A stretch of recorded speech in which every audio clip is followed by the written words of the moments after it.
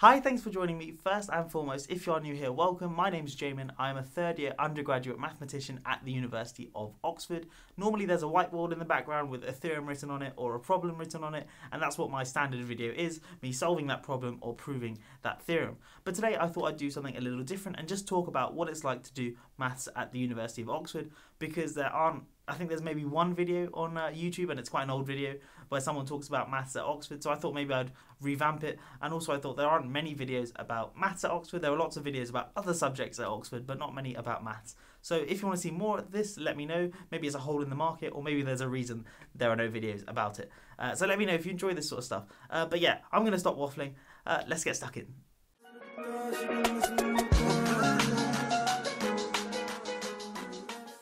Okay, so I'll leave timestamps in the description below if you want to jump to certain sections of this video, but I'm just going to get stuck in with the whole application process. If you do want to apply to Oxford to do maths, you have to apply, or in fact, if you want to apply to do any course at any university within the UK, you have to apply through this system called UCAS.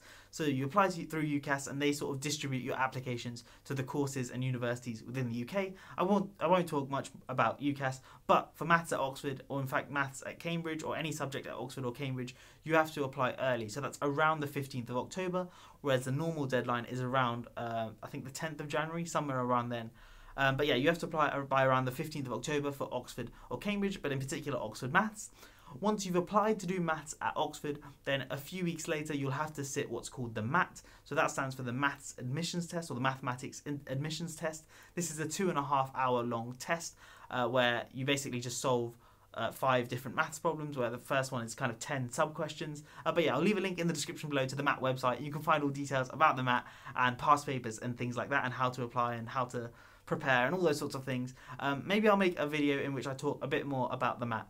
Black Pen, Red Pen suggested I did, so perhaps I will, perhaps I will. Anyway, once you've done the MAT, uh, a couple of weeks later you find out how you did, or you don't get a score, but you find out if you make it through to the next round of the whole maths application process for Oxford.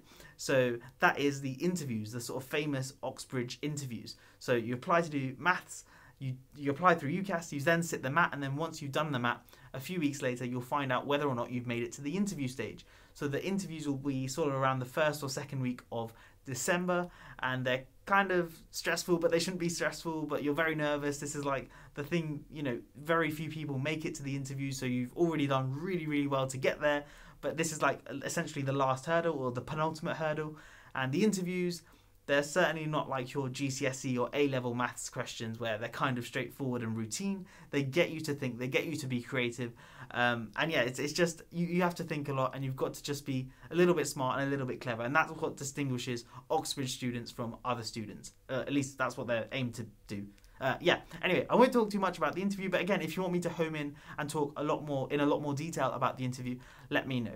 Anyway, once you've done the interview, this is kind of like a story time. Uh, I hope you've got a cup of tea or something. Anyway, once you've done the interview, um, that will be sort of uh, during December, start of December. Then you have to go through Christmas and New Year's, not knowing whether you've made it or not.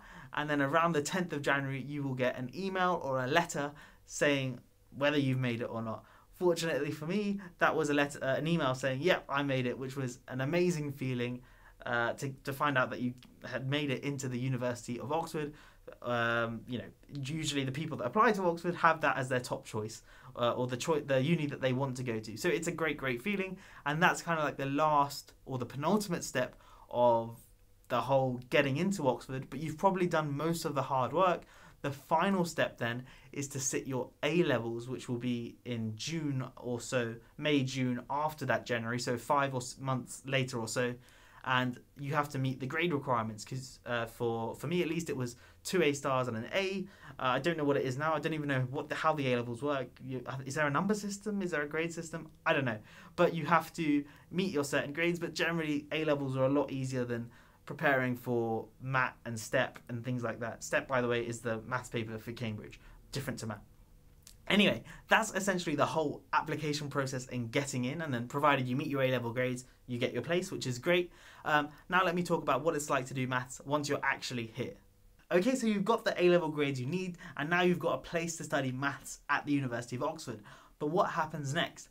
So, firstly, uh, Oxford is one of the few universities which is kind of divided up into different colleges, so it has the collegiate system. So, each college is kind of like a mini university, and each student is given a college, or each student is part of a college. So, my college is Christ Church, and there are, I think, 31 colleges at Oxford. That, that seems like something I should know, but I don't know. It's about 30 or 31, something like that. But there are a bunch of different colleges across the university, and some are in the city centre, some are far away from the city centre, some are near the maths department, some are far away from the maths department, some have certain facilities, and others don't. Uh, but yeah, that's essentially what uh, colleges are, and you will do teaching kind of falls into two different categories. Firstly, it's kind of like general teaching, which will happen at the maths department. So this is basically your lectures. So every day, at least in your first year, you will go to the maths department, and every day you will have two different lectures on two different modules, depending on what day it is. Go to, you'll go to the maths department in the morning and you'll sit and watch these two lectures in a massive lecture theatre with the 200 and whatever students other students there are studying maths there'll be a lecturer at the front with a massive whiteboard and they just talk through talk you talk you they'll talk maths at you for about an hour and on that particular topic and you can take notes. You can follow along the notes. You can print them off beforehand or read them uh, on your laptop or something. Um, and yeah you can't really ask too many questions uh, maybe not during the lecture certainly. Maybe at the end if the lecturer has a few minutes they might allow for questions or you can walk down and ask them or ask them at the end of the lecture or something like that or send them an email but uh, it's kind of it's not like school where you can just kind of just put your hand up and say, uh, "Sir, I don't quite get that." You kind of just have to deal with it, and then afterwards you can either talk to your course mates or email the lecturer or whatever, and try and work out what you didn't understand. Now, once you've done like a week's worth of, say, probability lectures, you'll have to do a probability problem sheet. So this is a uh, essentially like a worksheet to do, homework in, in theory um, that you've got to do on your own time, and each sheet will take about eight hours. And in your first year, you'll have about five sheets to do a week. So you'll have to do your lectures, you'll have to do the problem sheets as well, which is about eight hours time five problem sheets. Obviously, it varies from sheet to sheet. Some are easier, some are harder, but that's what you have to do. And uh, that kind of applies not just to maths at Oxford, but almost any subject, or at least any sort of sciencey subject. And then for humanities, you have like essays and stuff. Uh, but yeah, you'll be given a problem sheet to do every week, and then once you've done that problem sheet, you submit it into your tutor. And now this is kind of where we trans translate from general teaching to more personal teaching. So you hand in that problem sheet to your tutor, and your tutor will be someone who kind of works for your college, and then that that tutor will mark your problem sheet, and then a couple of days later you'll have a tutorial, which is basically like a very very very small class with just you and maybe one or two other students and the tutor and you'll essentially work through the problem sheet together. So any problems you couldn't answer or any bits you like of maths you just couldn't wrap your head around you can ask the tutor for help there and that's like the perfect time to ask any questions that you may have had, anything that you didn't understand from the lectures. You ask there and then. Um, so yeah, that's kind of what distinguishes Oxford, and I guess Cambridge also have their supervisions, which are basically the same thing as what we call tutorials. Uh, but that's what distinguishes Oxbridge from like other universities within the UK. You have these really, really dense not dense students, but densely sort of concentrated learning happening in these tutorials and supervisions. And whereas in other universities, you'll have like 20 students and only one teacher, so not as strong a ratio. Anyway, that's kind of what tutorials are, and that's kind of what how you know you'll get into a routine, and that's how the first two terms will work. You'll have five modules each term, and five problem sheets a week, uh, at least for your first year, for the first two terms, and it will sort of rinse and repeat. You go to lectures, you spend eight hours doing that problem sheet, you submit it, and you do that for eight week terms for the first two terms, and then in your third term you have exams, and these are what are called. These are what are called. These are what are called. These are these are called prelims, which is short for preliminary examinations. I'm going to have a sip of water and then I'll join you in just a sec. Okay, so prelims kind of give me an AS level vibes where they don't really count, but they do matter sort of vibe in the sense that if you do really well, that's great, and it's a really good indicator of where you are and how well you've adapted to uni, like uni in general, but also like the uni content and the different how it differs from A level and that sort of stuff but uh, it you know it doesn't really count towards your final degree or anything like that. You can get what's known as a scholar's gown, which basically means I don't know if you've seen like the gowns. I'll probably leave a picture on screen, but everyone sort of wears a gown in Oxford, not all the time. Uh, but if you've ever seen Harry Potter, I think they, they wear stuff like that. I don't know. I haven't really watched Harry Potter. Sorry. Shut up! Shut up! Uh, but uh, you wear gowns at sort of uh, any sort of fancy event and that sort of stuff. But if you do really well in the exams, you get to wear a scholar's gown, which is like a really, really fancy, bougie gown. Um, so I'll leave a photo of that here. Uh, but yeah, that's uh, what gowns are, and you can get things like that. So little perks, and maybe your college might give you some money if you do really well. But at the end of the day, it doesn't count towards your final degree, and uh, your prelims are just kind of a good indicator, essentially. Uh, that being said, people do want to do really well on them, and understandably so. They're your first sort of major exams that you have at uni. Um, I guess you also have what are known as collections dotted throughout the year, and those are essentially just essentially just mock exams, um, which again are good sort of progress trackers. Uh, anyway, yeah, if you do really badly in your prelims, that will probably raise a few eyebrows, and then people, you know, your tutors might have discussions with you about whether Oxford is really for you. But generally, it's not too. For 99% of students, it's prelims aren't too much of a concern. You'll generally get like a 65, 70, around that sort of mark. 60 is a very, very good score. And if you can get 60, congratulations. If you don't get 60, don't worry. Um, but yeah, that's kind of what you want to aim for. And if you do that, sound, the year's done and first year is fun. But then as soon as you hit second year for maths, that's when the exams start counting. Your second year counts towards 40% of your degree, and your third year 60%.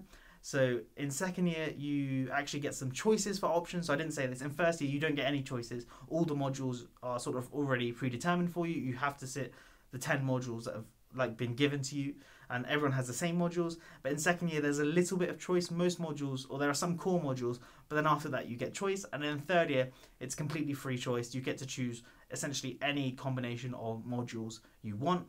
And uh, yeah, second year is 40%. Second year works exactly the same as first year. You have your tutorials in college and uh, that sort of stuff. Uh, you only have one problem sheet every two weeks, but apart from that, it's pretty much the exact same. First and second term, then in third term, it's sort of revision and your exams. In third year, it slightly changes you, as I said, have a 100% choice of your options, but you don't have tutorials anymore, sadly. You have classes now. So it's in groups of about 15 or so, 10, 15 students. And a similar sort of vibe, the tutor will go over that week's problem sheets or that fortnight's problem sheet and yeah, give you the solutions, and you can ask any problem, uh, any questions that you had, uh, any questions that you have, any problems, any queries, that sort of stuff. Um, but yeah, that happens once every fortnight, and it's in classes now, so it's less sort of one-on-one vibe and kind of more high school sixth form vibe. Nonetheless, they're still really, really informative. And uh, yeah, you do your first two terms, and then third term, which is what I'm about to enter. It's the Easter break now, so the third term, which is what I'm about to enter, will be exams. And uh, yeah, I'm a little bit scared, but hey ho, we'll see how they go. Fingers crossed for me. That, that have exams, and then most students stay on for a fourth year here and do kind of like an integrated undergraduate masters and uh, I won't talk too much about that because I'll be honest, I don't really know too much about it. You do modules, you choose them. Everyone has to do dissertation. Uh, it seems like good fun, but also very very difficult, and it's you sort of stay on if you really enjoy math. But generally, if you're at Oxford doing maths, you really really enjoy maths. Anyway, that's kind of a brief overview of maths at Oxford, how you get in here, and once you're in here, what it's like. I don't really know how I did. I kind of just think I was waffling at the camera this is not something I normally do. It feels weird without having a whiteboard pen in my hand and a whiteboard in the background. I'm not gonna lie. Uh, but let me know if you enjoyed this video and if you want me to make more videos talking about particular parts of Oxford or maths or Christ Church or whatever it is. And if you have any questions, please, please, please do just leave them in the description, below, uh, not in the description, in the comments uh, down below. I will be more than happy to answer. Um, but yeah, if you have made it to the end of this video, I hope that means you've enjoyed it. Uh, if you have, please do consider liking and subscribing as well, especially if you are considering doing maths at uni, even if it's not at Oxford and even if it's at the, the other place, Cambridge. Uh, do consider subscribing because I make a ton of maths videos, um, one one every other day. In fact, with my whiteboard, I'll go through a problem or a theorem. Um, so yeah, subscribe and watch them and like them, and I'll be happy. Thanks for watching. Have a great day.